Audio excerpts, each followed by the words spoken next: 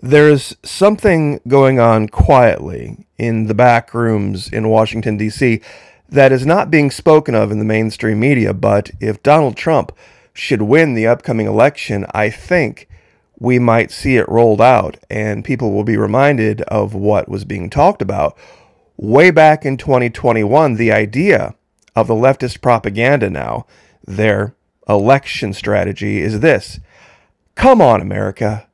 You know we can't elect Donald Trump again.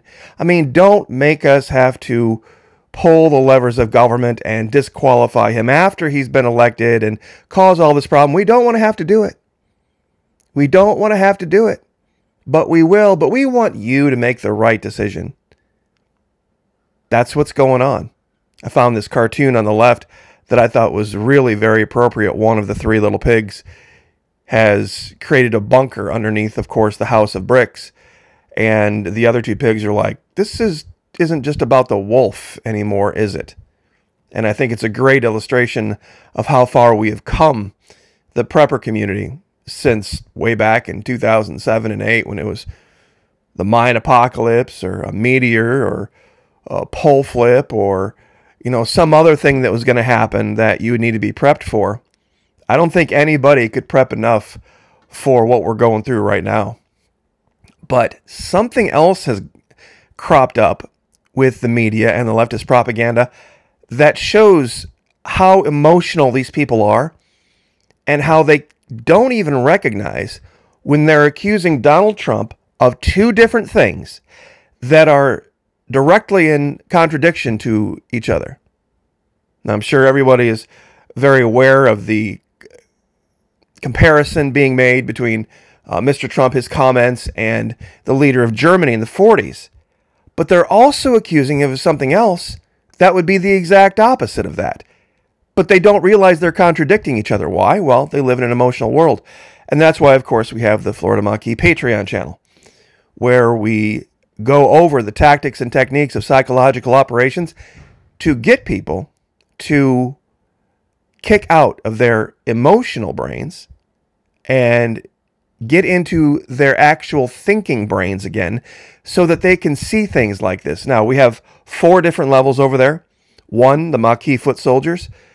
For those of you who are wondering what the Maquis are, M A Q U I S, it's a take on the freedom fighters in Spain and France that rose up um, to fight guerrilla warfare against the occupying forces of the Germans. There's a $1 level, Maquis foot soldiers, $5, need to know, $10, of course, the unit commanders, and then the $15 level, the brigade commanders. We've got brand new content over there about a week old or so, but we're going to be putting brand new content up over there this coming week as well.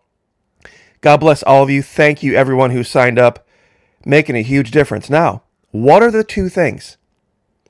What are the two things that they are accusing Mr. Trump of that are in direct contradiction to one another? Well, firebrand leftist Jamie Raskin said Congress must disqualify Trump because he's an insurrectionist, allegedly.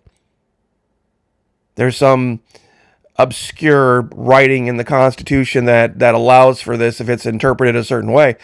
And I want to give a quick shout out, of course, to Lisa Haven over at Restricted Republic because she was the one that actually shared this clip of what he wanted to say about this. Now, I'm not going to take away from her content here. It's at about 658 in her video titled TikTok Is This the Democrat Doomsday Plan if Trump wins the election?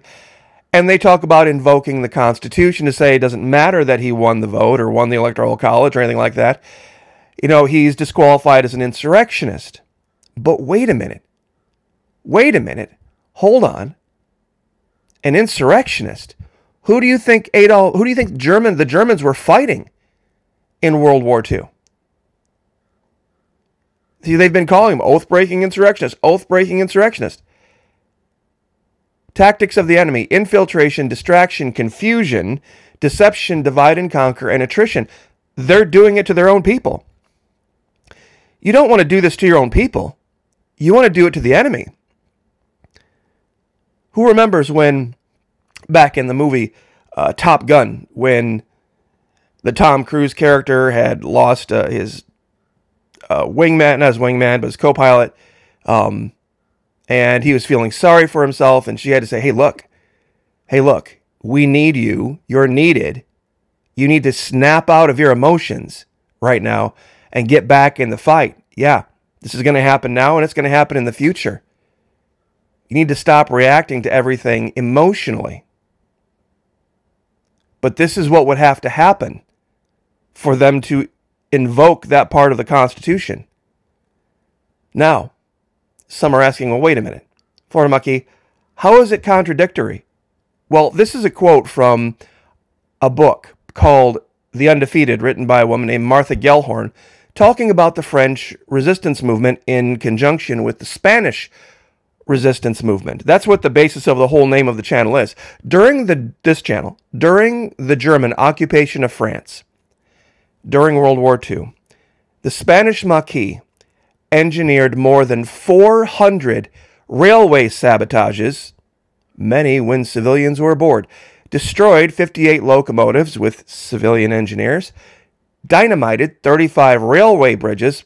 Once again, many of those bridges had uh, people on them at the time, cut 150 telephone lines, attacked 20 factories, once again, killing many civilians, destroying some factories totally, and sabotaged 15 coal mines, many with workers inside.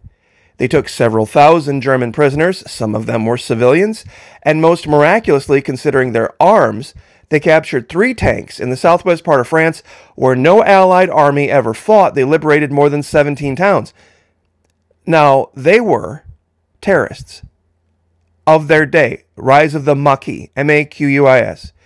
The Night Belongs to the Maquis and SAS with the Maquis. Great reading. Three different books Charles G. Fournel, Carolyn K. Brancato, and Ian Wellsted, talking about something that doesn't usually make it onto the History Channel documentaries of what happened during World War II. You see, you can be one, you can be a dictator, like the leader of Germany was, or you can be an insurrectionist, the people who fight against dictators. But you can't be both. You can't, you cannot be both. Here's a great uh, article to read EuropeanMemories.net the Spanish Civil War in the movies 80 Years of Stories. You see, there's some pictures here that reveal something that's not so savory about how the French resistance was able to infiltrate and compromise the Germans. And we've talked about it in other videos and in other contexts, but it had to do a lot with what soldiers do when they're not being soldiers and how they can. There was a huge propaganda campaign in North America, all sorts of billboards trying to warn American soldiers against going over to Europe. And like they say, loose lips sink ships. can take that however you want it. But this is something they might try. And the prepper community is probably going to have to adjust how they prep for something like this where Donald Trump would win the election but or it was the close election and everybody thought he's going to be inaugurated and everything's going to be fine. And then they go to the meeting of the electors. And the sitting vice president of course who is running decides to not accept the results and Congress decides to disqualify him based on just calling him an insurrectionist and installing her. Now, here's here's the weird part. You ready for this? Here's the part that even Lisa Haven missed. And I'm not trying to knock Lisa Haven, but it was something that I didn't think about till hours later. We vote for the president and the vice president on this on a separate ballot meaning that if they disqualified Donald Trump based on being a quote unquote insurrectionist or like Hitler or threat to a democracy or whatever the hell, that wouldn't disqualify J.D. Vance. So, what if we had a Harris Vance presidency. Meaning she could win the ballot having disqualified Donald Trump based on January 6th, with J.D. Vance had nothing to do with. And ironically so, J.D. Vance actually called Donald Trump Hitler at one time, a long time ago. But that would not affect the balloting for J.D. Vance. Getting rid of Donald Trump, they could elect J.D. Vance vice president and Kamala Harris president because it's a separate ballot.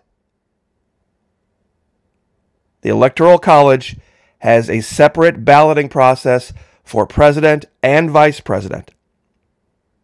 It's not a lump sum deal. And this goes to show that we don't have a national election.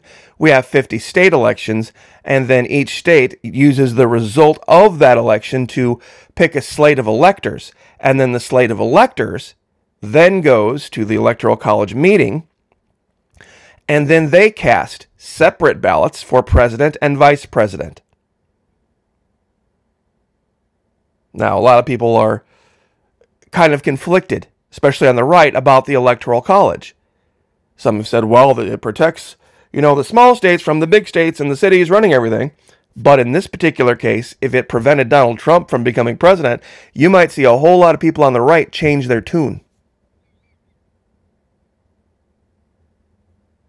Some might say it's undemocratic, some might say it's unfair, but it wouldn't be unconstitutional.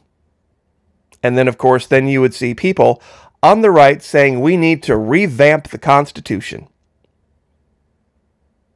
So I will let you go over to uh, Lisa Haven, uh, Restricted Republic, Justice Night. Great info.